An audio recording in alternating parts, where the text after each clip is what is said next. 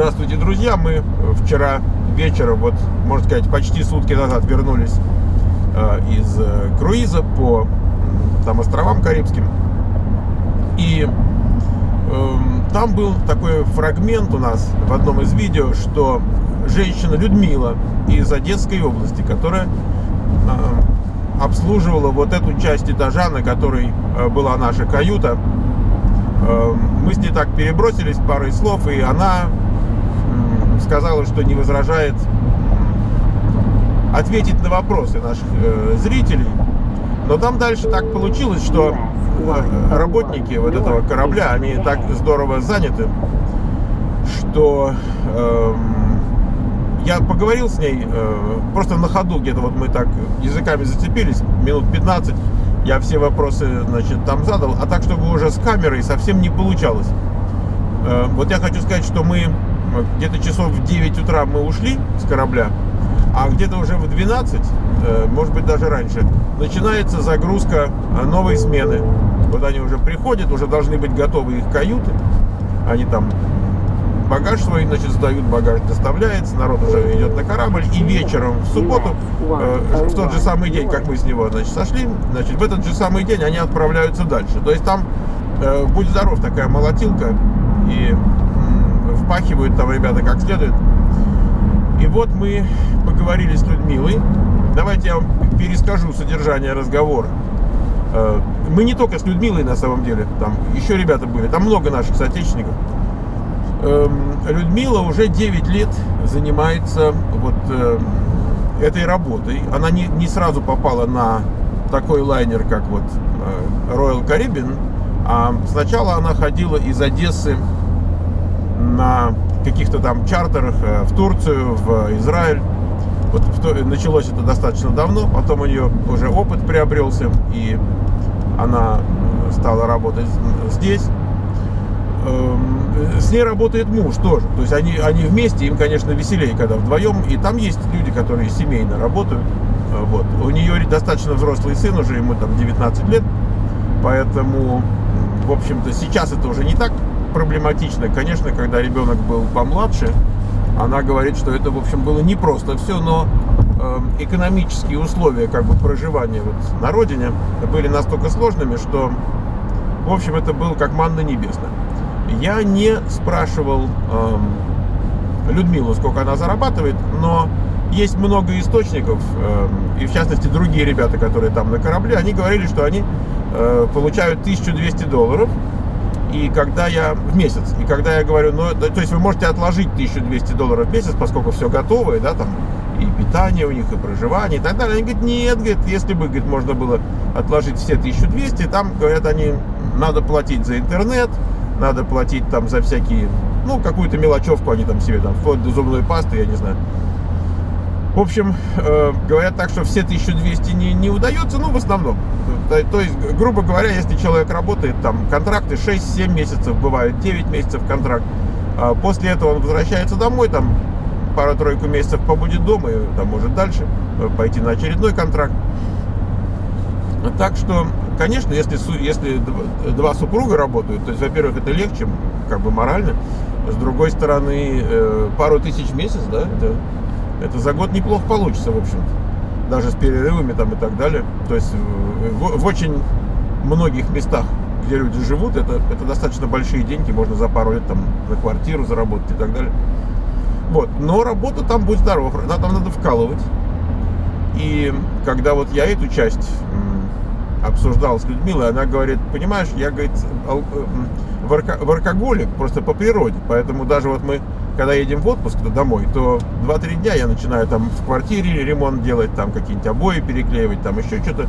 Просто есть люди, которые не могут сидеть без дела. И, и это, конечно, работа им гораздо больше подходит, чем, например, людям, которые там как денщик у гусара, знаете, который любит лежать, и чтобы его там барин дозваться не мог. Знаете, это, конечно, другой тип, противоположный.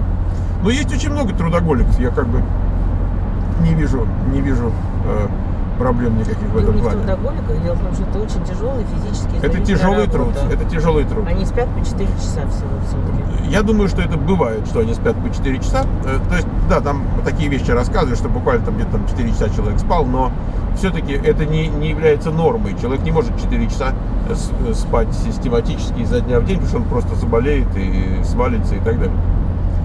Вот. В общем, там, там надо пахать. Конечно, желательно быть помоложе.